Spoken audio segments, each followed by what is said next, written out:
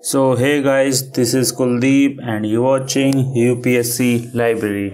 So आज के इस लेक्चर में हम देखेंगे इंडिया और लग्जमबर्ग के बीच में जो वर्चुअल समिट हुई है तो उसके बारे में हम पढ़ेंगे इस लेक्चर में बिकॉज़ इंडिया और लग्जमबर्ग के बीच में जो वर्चुअल समिट हुई है उसमें काफ़ी सारे एमओयू साइन किए गए हैं जो इंडिया और लग्जमबर्ग के लिए इन दोनों के बायोलेटरल रिलेशन के लिए काफ़ी इंपॉर्टेंट होंगे सो पहले तो इसमें जाएँगे आखिर बिकॉज़ वर्चुअल समिट काफ़ी सारी हो रही हैं सो so, इसमें जानेंगे वर्चुअल समिट आखिर होती क्या है? बिकॉज़ इंडिया काफ़ी सारी कंट्रीज़ के साथ या जो अदर कंट्रीज़ हैं वो भी अदर कंट्रीज़ के साथ ये वर्चुअल सबमिट करता है। मतलब पहले जो मतलब फेस टू फेस जो होती थी मीटिंग उसको छोड़ के जो बिकॉज़ अभी जो कोविड का जो टाइम चल रहा है सो कोविड की टाइम की वजह से जो डिस्टेंस मेंटेन करनी है बिकॉज़ सोशल डिस्टेंसिंग करना उसमें पॉसिबल नहीं हो पाता। सो इसी चीज़ को लेते हुए इसमें जो वर्चुअल सबमिट की जा रही है सो जानिए वर्चुअल सबमिट के बारे में ठीक से। देन इसमें देखेंगे बायोलेटर रिलेशन बिटवीन इंडिया और लग्जमबर्ग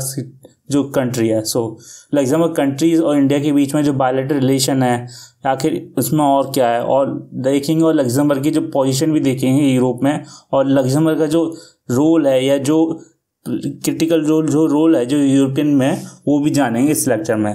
देन इसके बाद ये न्यूज़ आर्टिकल ये है दूरदर्शन का कटआउट है। सो ये दूरदर्शन न्यूज़ का कटआउट तो इसमें लिखा है कि PM Modi and premier Xavier Bettel जो कि लग्जमबर्ग के प्राइम मिनिस्टर उनका नाम है Xavier Bettel hold the first India Luxembourg virtual summit मतलब सबमिट तो ऑलरेडी काफ़ी सारे लेकिन ये फ़र्स्ट वर्चुअल सबमिट थी। सो so, जितने भी सबमिट हो रही हैं अदर कंट्रीज़ के साथ वो इंडिया की सबकी के साथ फ़र्स्ट है। सो so, इस चीज़ को याद रखना।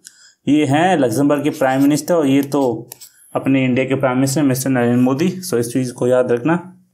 सो so, अगर आपने यूपीएससी लाइब्रेरी को टेलीग्राम फेसबुक और इंस्टाग्राम में फॉलो नहीं किया तो आप कर सकते हैं। लिंक्स वीडियो के नीचे डिस्क्रिप्शन में दी रखी हैं और आप यूपीएससी लाइब्रेरी को सब्सक्राइब भी कर सकते हैं।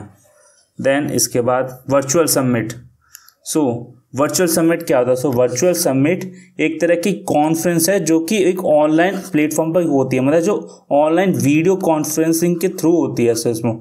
सो इस वीडियो कॉन्फ्रेंस में that brings together expert speaker to present on a specific topic मतलब किसी स्पेसिफिक टॉपिक पर वो बात होती है वो मीटिंग होती है। सो so, अभी जो वर्चुअल समिट हो रही है इंडिया और लग्जमबर्ग के बीच में तो उसमें भी कुछ टॉपिक लिए गए होंगे। सो so, उन्हीं टॉपिक के बीच में एम ओ यू साइन हुए हैं इंडिया और इंडिया और लग्जमबर्ग के बीच में। सो so, इससे सो सेम ऐसे ही वर्चुअल समिट में होता है। बाकी अदर कंट्रीज़ करती हैं या जो अभी कोविड के टाइम में काफ़ी सारी मल्टी नेशनल कंपनीज़ है वो भी वर्चुअल सबमिट करते हैं या जो वीडियो कॉन्फ्रेंसिंग कर रही है अपने एम्प्लॉयज़ के साथ या अदर कंपनीज़ के साथ। सो so, ये वीडियो कॉन्फ्रेंसिंग या वर्चुअल सबमिट इस कोविड मतलब पोस्ट कोविड एरा में काफ़ी ज़्यादा ऑन इसका यूज़ किया जा रहा है। सो so, इस चीज़ को आप याद रखना। सो so, ये इसका एक एग्ज़ाम्पल है। सो so, हमारे जो इंडिया के प्राइम मिनिस्टर ने सो यूरोपियन यूनियन के साथ जो वर्चुअल सबमिट हुई तो इसका एक एग्ज़ाम्पल है। सो इनके साथ ये प्रेसिडेंट है यूरोपियन यूनियन के दोनों तो इनके साथ वर्चुअल सबमिट कर रहे थे। ये उसका एक तरह का एग्ज़ाम्पल दे रखा है। सो so, जो अभी जो न्यूज़ है जो इसमें इस वो है कि prime minister Narendra Modi held a bilateral submit with the Xavier Bettel जो कि प्राइम मिनिस्टर हैं ग्रैंड डिची ऑफ़ लग्जमबर्ग जो कि लग्जमबर्ग का पूरा नाम है। सो इसी ये पूरा नाम है। वैसे हम उसको बोलते हैं Luxembourg in a virtual format on the Thursday इसी थर्सडे को ये वर्चुअल समिट हुई थी। सो इस मीटिंग में the prime minister expresses condolence on the loss of lives in Luxembourg on the account of Covid nineteen global pandemic because जो Covid nineteen में जो डेथ हुई थी लग्जमबर्ग में, वो काफ़ी ज़्यादा थी। बिकॉज़ जो कोविड नाइन्टीन जो सॉरी जो लग्जमबर्ग की जो पॉपुलेशन है, वो almost six point one three के समथिंग मतलब छः लाख के करीबन है, जो कि काफ़ी कम है कंट्री के एवरेज में लिया है। सो अगर मैं इसको अपने होम टाउन या होम सिटी से कंपेयर करूँ, जो कि मेरा अलीगढ़ है तो उसकी पॉपुलेशन ही आठ लाख से ज़्यादा है मोर देन आठ लाख है। सो उससे कंपेयर किया जाए तो उससे भी काफ़ी कम है। सो सो अगर लग्जमबर्ग के कंपेयर में देखा जाए तो उसकी जो डेथ है, वो काफ़ी ज़्यादा सो आप इसमें देखिए सो आपको इसमें पता चलेगा सो सी है Luxembourg so Luxembourg total twenty nine thousand more than twenty nine thousand cases आ चुके हैं कोविड के। सो इसमें जो फोर्टी एट थाउज़ेंड तो मतलब पर मिलियन है, इसमें देखा गया है तो उसमें जो डेथ हुई है टू सिक्सटी है। सो जो छः लाख जो जिसकी आबादी छः जिसकी पॉपुलेशन छः लाख है तो उसके कंपेयर में देखा जाए तो ये डेथ काफ़ी ज़्यादा है। तो इसी चीज़ को देखते हुए हमारे इंडियन प्राइम मिनिस्टर ने पहले तो कंडोलेंस दिया लग्जमबर्ग सिटीज़ को। देन इसके बाद इसमें देखेंगे लग्जमबर्ग के बारे में आया तो लग्जमबर्ग में थोड़ा जान लेना चाहिए। सो ये लग्जमबर्ग का ये फ्लैग है नेशनल फ्लैग इसको याद रखना। और लग्जमबर्ग जो स्मॉल यूरोपियन कंट्री है मतलब यूरोपियन कंट्री का मतलब ये यूरोपियन यूनियन का पार्ट है। इसी वजह से इसको यूरोपियन कंट्री और ये यूरोप में भी आती है। सो so, इसी चीज़ को भी याद रखना। यूरोपियन कंट्री स्मॉल कंट्री है surrounded by the Belgium France and Germany मतलब ये एक लैंड लॉक कंट्री है land lock land lock country कौन सी होती हैं? जिसका, जिसको कोई भी एक्सेस ना मिले सी का। सो इस पिक्चर में आप देखिए, ये है लग्जमबर्ग। और लग्जमबर्ग की बॉर्डर किस किस से सब मिली हुई है? ये हो गया बेल्जियम इधर साउथ में हो गया फ्रांस देन ईस्ट में हो गया जर्मनी सो लग्जमबर्ग की जो, लग्जमबर्ग लग्ज सो लग्जमबर्ग को किसी भी सी का एक्सेस नहीं है। सो इसी चीज़ की सो इसी चीज़ की वजह से लग्जमबर्ग को एक लैंडलॉक्ड कंट्री बोला जाता है। बिकॉज़ फ्रांस को तो इसका सी का एक्सेस है प्लस बेल्जियम को भी इस सी का एक्सेस है बट लग्जमबर्ग को नहीं है। सो अगर लग्जमबर्ग को अगर किसी सी अपनी चीज़ों को इम्पोर्ट करना हो मतलब कहाँ से किसी से इम्पोर्ट करवाना हो या अपनी चीज़ों को एक्सपोर्ट करना हो तो वो किसी और कंट्री के थ्रू जाना पड़ेगा। सो so, इसी चीज़ की वजह से उसको एज ए लैंडलॉक कंट्री बोला जाता है। सो सो इस चीज़ को आप याद रखना। सो लग्जमबर्ग कंट्री उसकी सिटी और कैपिटल का नाम है लग्जमबर्ग सिटी इस चीज़ को याद रखना काफ़ी मतलब नॉर्मल नॉर्मल की इजी है कि लग्जमबर्ग कंट्री की capital Luxembourg city then currency इसमें इसमें यूरो चलती है। पॉपुलेशन मैंने बता ही दिया था कि six point one four lakh है दो हज़ार उन्नीस के डेटा के हिसाब से, जो कि काफ़ी कम है। सो इसी चीज़ की वजह से उनको हमारे प्राइम मिनिस्टर ने कंडोलेंस कंडोलेंस दी थी।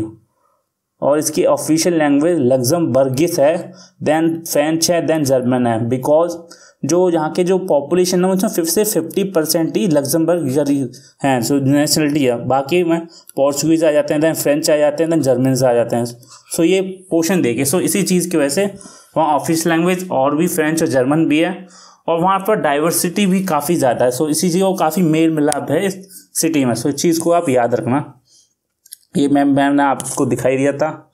So in 2020 the country rank in second the environmental performance index so ये लग्जमबर्ग के बारे में बताएगा कि जो 2020 में जो इन्वायरमेंटल परफॉर्मेंस इंडेक्स में तो इस कंट्री की रैंक कितनी थी? सेकंड थी। सो इसको, इस सो इस चीज़ को याद रखना कि आउट ऑफ़ 180 कंट्रीज़ इसकी पोजीशन क्या थी? सेकंड किसमें? इन्वायरमेंटल परफॉर्मेंस इंडेक्स में। Then the the country wants to cut green house gas emission by fifty five percent in ten years and reach is zero emission by twenty fifty मतलब इसमें है कि दस साल के अंदर तो वो अपना ग्रीन हाउस गैस का जो इमिजन है, वो फिफ्टी फाइव परसेंट कम कर देगी और प्लस इसके बाद ज़ीरो इमिजन कर देगी ट्वेंटी फिफ्टी तक। ये इसका गोल है लग्जमबर्ग कंट्री का। और वो ये और इस, ये कंट्री इस चीज़ को अचीव भी कर सकती है।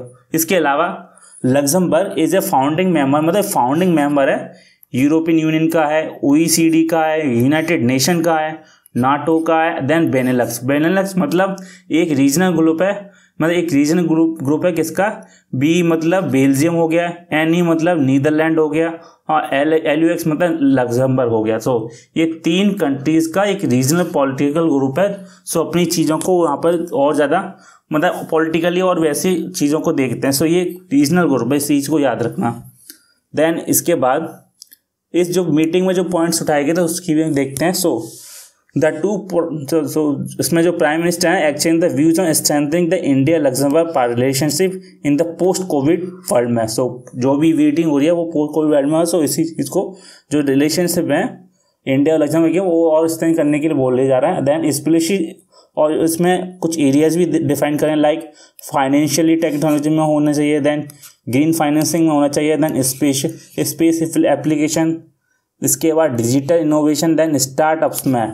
सो इन चीज़, इन एरिया को डिफाइन किया गया है कि इन सब एरिया में इंडिया और लग्जमबर्ग की जो रिलेशन है, जो बायोलेटर रिलेशन है और ज़्यादा स्ट्रेंथन करने चाहिए, और ज़्यादा इंक्रीज करने चाहिए.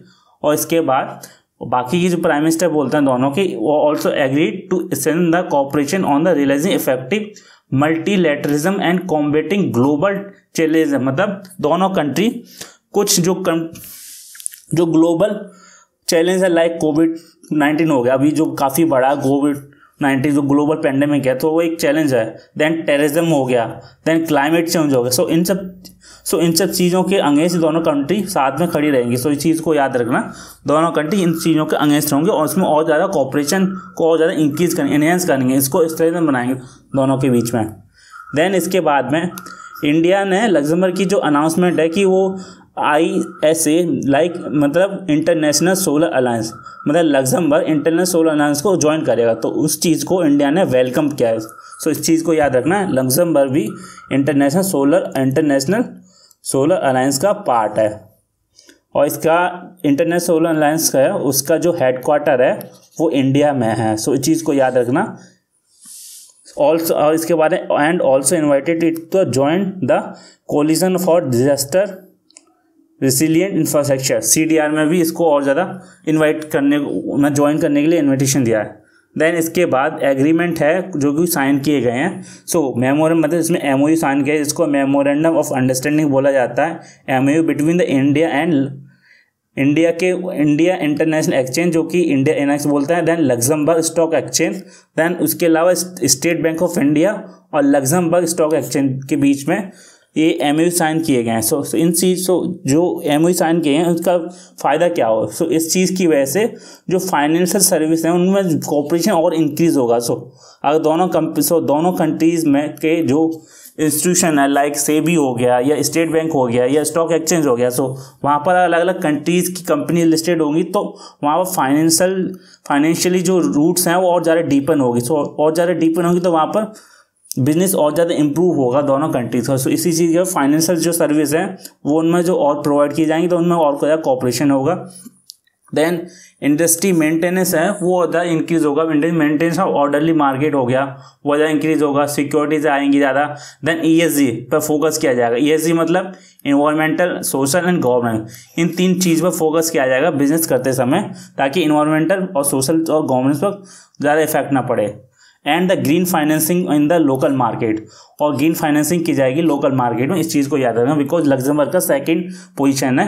इन्वायरमेंट इन्वायरमेंटल परफॉर्मेंस इंडेक्स में। सो इस चीज़ की वजह से ग्रीन फाइनेंसिंग की जाएगी लोकल मार्केट में। तो अगर इंडिया लग्जमबर्ग के साथ अगर ऐसी चीज़ें और ज़्यादा इंक्रीज करेगा तो इंडिया इंडिया के लिए काफ़ी ज़्यादा बेनिफिट होगा। बिकॉज़ जो हमारे फॉरेन मिनिस्टर एस जंकर एज जो एस जयशंकर हैं, उन्होंने बोला है कि अगर इंडिया को यूरोपियन यूनियन के साथ डील करनी पड़ेगी तो ऐसे ही छोटी मतलब यूरोपियन कंट्रीज़ की जो कंट्रीज़ हैं जो जो पार्ट है, उनके साथ अपनी और ज़्यादा कॉपरेशन इंक्रीज़ करनी पड़ेगी सो अगर हम सो अगर इंडिया लग्जमर सिटीज़ के साथ उस, अपनी कॉपरेशन या फाइनेंशियली जो ये बायोलिटर रिलेशन है, वो और ज़्यादा इन्हेंस करेगा, ज़्यादा इंक्रीज़ करेगा तो उसका एक पॉजिटिव इफ़ेक्ट पड़ेगा यूरोपियन यूनियन से इसी चीज़ को अगर हमें इंडिया को यूरोपियन के साथ अगर ट्रेडिंग ट्रेड डील करनी पड़ेगी, उसमें नेगोशिएशन की जो ज़रूरत है तो ये एक पॉजिटिव पुश लाएगा। सो बिकॉज़ अभी जो इंडिया है वो यूरोपियन यूनियन के साथ ट्रेड डील करना चाहता। वो लेकिन इसमें काफ़ी सारे हर्डल्स आ रहे हैं। सो इन हर्डल्स को बाईपास करने के लिए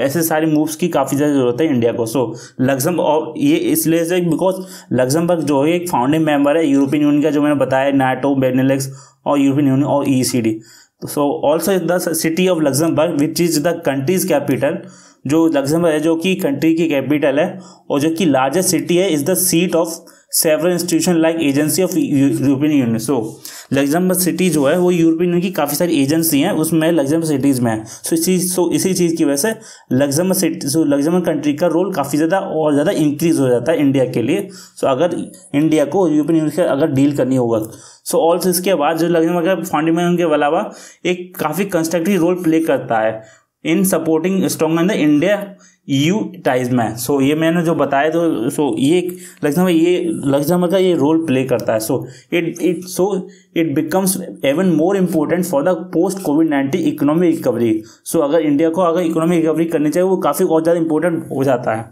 देन इसके बाद जो फाइनेंशियल रिलेशन है, वो भी जो ज़्यादा इंक्रीज होंगे, या जो डिफाइन करेंगे लाइक दोनों कंट्री के बीच में long standing cooperation steel sector में। है सो इंडिया अपना स्टील इंपोर्ट मतलब एक्सपोर्ट करता है लग्जमबर्ग सिटीज़ को, और वो लग्जमबर्ग सिटी इंपोर्ट करता है। ऑल्सो इसके अलावा leader called upon businesses then include इसमें एम एस एम ई भी है मतलब एस एम ई भी है एंड स्टार्टअप्स भी इसमें इंक्लूडेड है। देन इसके बाद explore further opportunities for the expanding the economic relationship इसके अलावा जो और भी अपॉर्चुनिटी है, उनको एक्सप्लोर की जाएगी और इनको एक्सपेंड किया जाएगा, बाकी अदर मतलब एक्स्ट्रा इकोनॉमिक रिलेशन इंक्रीज करने के लिए। देन इसके बाद propose agreement between the regulatory authority जो मतलब इंडिया के बीच में जो रेगुलेटरी अथॉरिटी लाइक इंडिया में कौन है? Security exchange board of India हो गया और लग्जम सिटी में होगा commission the surveillance the sector so अगर इन दोनों के बीच में जो जो मतलब कॉपरेशन अगर ज़्यादा होगी तो वो दोनों कंट्रीज़ की कम जो कंपनीज़ हैं ये जो लिस्टेड होंगी जो स्टॉक मार्केट में वो उनके लिए काफ़ी बेनिफिशियल फ़ीड होगा। सो so, और इसके अलावा जो it deepen the bilateral cooperation in the financial sector so अगर दोनों दोनों जो रेगुलेटरी अथॉरिटीज़ की जो है अगर दोनों के बीच में जो जो पॉपुलेशन ज़्यादा इंक्रीज होगा तो ये फाइनेंस सेक्टर में और ज़्यादा बूस्ट लाएगा। सो इस चीज़ को आप याद रखना। देन इसके बाद लग्जम के बारे में बताया कि Luxembourg is a leading international finance centre in the Europe काफ़ी लीडिंग इंटरनेशनल फाइनेंस सेंटर है यूरोप में। It can act as a important bridge to help connect India financial service industry with international markets and reach European and global investors so Luxembourg एक तरह का bridge की तरह काम करेगा India और यूरोपियन यूनियन की मार्केट के बीच में। सो इसी वजह से, इसी वजह से लग्जम का जो रोल है वो और ज़्यादा इंक्रीज हो जाता है। देन इसके बाद सर्विसेज़ जो इंडिया प्रोवाइड करता है लग्जमबर्ग को। Like Luxembourg based based space company है, उन्होंने स्टार्टेड है utilising the service of India मतलब इंडिया की सर्विस की जो इसरो जो सर्विस प्रोवाइड करता है, उसका उन्होंने यूज़ कर लाइक लॉन्चिंग देयर सैटेलाइट मतलब अपनी सैटेलाइट लॉन्च करने के लिए into the space so because इसका एग्ज़ाम्पल है कि नवंबर 2020 में इसरो ने हमारी जो काफ़ी अच्छी ऑर्गेनाइजेशन है उसने लॉन्च की थी पी के साथ सी फोर्टीन मिशन में। तो इस चीज़ में उसकी जो लग्जमबर्ग की जो चार सैटेलाइट्स में भी लॉन्च की थी। सो ये चीज़ को याद रखना। ये इसका इस चीज़ को ये इसका कटआउट इसमें लिखा होगा कि ISRO to launch India earth observation और इसके साथ nine customer satellite on November seven so इसमें नाइन कस्टमर सैटेलाइट थी। नाइन में जिसमें चार यूएसए की थी चार लग्जमबर्ग की थी और एक लिथुआनिया की थी। सो so, ये इस इस, so, इस चीज़ की वजह से भी सो so, इस चीज़ की वजह से इंडिया और लग्जम के बीच में और कॉपरेशन और ज़्यादा इंक्रीज होता है सर्विस एक्सचेंज करने का वजह से। देन इसके बाद यूनाइटेड नेशन में जो रोल है इंडिया और लग्जमबर्ग का लाइक जैसे Luxembourg welcome India election to non permanent seat welcome करता है इंडिया का जो इलेक्शन हुआ था नॉन परमानेंट सीट के लिए in UN security council for a term of 2021 to 2022 and reiterated its support for the reform in the UN Security Council. जो मतलब यूनाइटेड नेशन जो सिक्योरिटी काउंसिल है, उसमें रिफॉर्म लाने के लिए लग्जमबर्ग उसको सपोर्ट करता है इंडिया को। Also including the its expansion in both category मतलब और इसमें जो नॉन परमानेंट मेंबर और परमानेंट मेंबर है, उनकी जो एक्सपें उसकी एक्सपेंशन करने की जो सीट की एक्सपेंड करने के लिए लग्जमबर्ग इंडिया को और ज़्यादा मतलब उसके फ़ील्ड में भी और सपोर्ट करता है लग्जमबर्ग इंडिया को नॉन परमानेंट सीट मेंबरशिप को इंक्रीज करने के लिए और परमानेंट मेंबरशिप को भी इंक्रीज करने के लिए ये लग्जमबर्ग सपोर्ट करता है इंडिया को। और इसके बाद also it supports India candidature for the permanent membership of United Security Council मतलब इंडिया को परमानेंट मेंबरशिप लाने, दिलाने के लिए यूएन सिक्योरिटी काउंसिल में लग्जमबर्ग भी इसको सपोर्ट करता है। देन इसके बाद India support Luxembourg candidate to the UN human UN human rights council India Luxembourg को सपोर्ट करता है यूएन ह्यूमन राइट्स काउंसिल में कैंडिडेट दिलवाने के लिए। सो इस तरफ़ लग्जमबर्ग सपोर्ट करता है तो दूसरी तरफ़ इंडिया भी सपोर्ट करता है। सो दोनों के बीच में ऐसे ही रिलेशन इंक्रीज होते रहते हैं। So so both condemn the और इसके अलावा बोथ कंडम द टेररिज्म मतलब दोनों ही टेररिज्म को कंडम करते हैं। एंड और जो एंड ऑल इट्स फॉर्म मतलब टेरिज्म को करता है और इसकी जो भी और भी फॉर्म है उसको भी कंडम करते हैं। And manifestation like agree to the need for continuing cooperation to support international effort मतलब जो भी इंटरनेशनल एफर्ट है टेरिज्म को टैकल करने के लिए जैसे कि हो गया फाइनेंस एक टास्क फोर्स है उसको भी लग्जम सपोर्ट करता है। जो सो हमें टास्क फोर्स का रो, मतलब रोल क्या है? To prevent and combat terrorism funding को रोकता है। सो इस चीज़ को सो इस चीज़ को भी लग्जमबर्ग है सपोर्ट करता है। सो so, इस सारे इस, इस इलेक्शन में इंडिया मतलब इस इस इलेक्शन में इंडिया और लग्जम के बीच में जो रिलेशन है वो दिखाया गया है वो शो गया और प्लस जो अभी जो वर्चुअल सबमिट में जो एम ओ यू साइन किए गए हैं वो भी इसमें शो किए हैं जो कि काफ़ी इंडिया जो कि काफ़ी इम्पोर्ट बन जाते हैं। इंडिया और जो यूरोपियन यूनियन के बीच में ट्रेड डील चल रही है मतलब ट्रेड डील अभी साइन नहीं हुई है वो उस गैप को जो गैप अभी आ रहा है उस गैप को फिल करने के लिए लग्जमबर्ग का रोल काफ़ी क्रिटिकल रोल होता है। सो इस चीज़ को याद रखना। सो आज के लेक्चर में बस इतना ही। अगर आपने यूपीएससी लाइब्रेरी को सब्सक्राइब नहीं किया ना तो please subscribe the UPSC library and press the bell icon for the more updates धन्यवाद।